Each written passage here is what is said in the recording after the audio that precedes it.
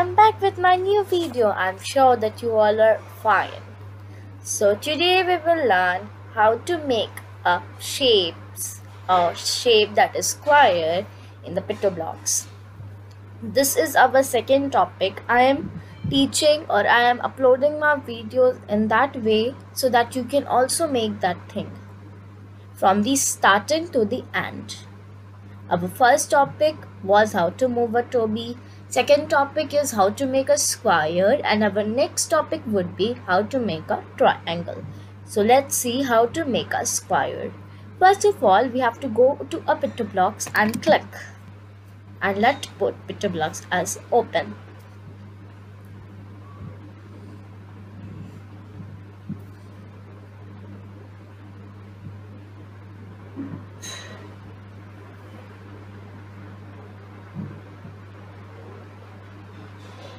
Okay, so our PictoBlox has been opened.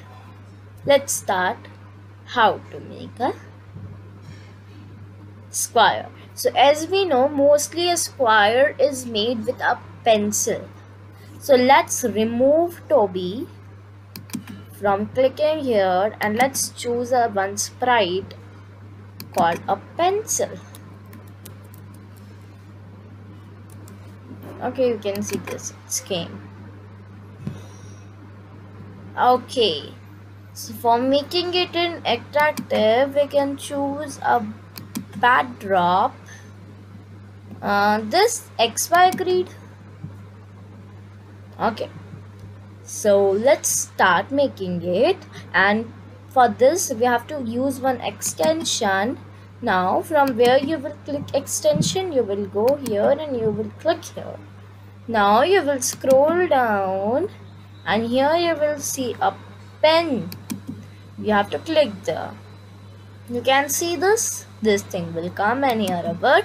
New palette will appear. Let's start now. From the events palette we have to take when a flag is clicked. Now from the pen option we will do pen down. Now move pen stats and from the event from the control palette you will see repeat. So repeat we can keep it as a four times. Now wait okay wait for a 0 0.1 seconds 0 0.5 seconds. And turn 90 degree. As we know that square is an each square side is a 90 degree. So oh, what happens? Our right you all are right. It's not doing. So we have to set our pen color now let's set and see now also it is not huh? so you have to go to costume and you have to select your whole thing. And there is one small dot and your nip should be there. Okay see this fire is too much smaller. We can increase right? 100 so you can see now our square is becoming big now if you will write here 200 then your score would be more big. Oh my god.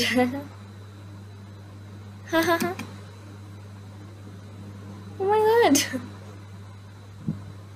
Okay so we can change penny pen color anytime. My pen color i have to change to any like this.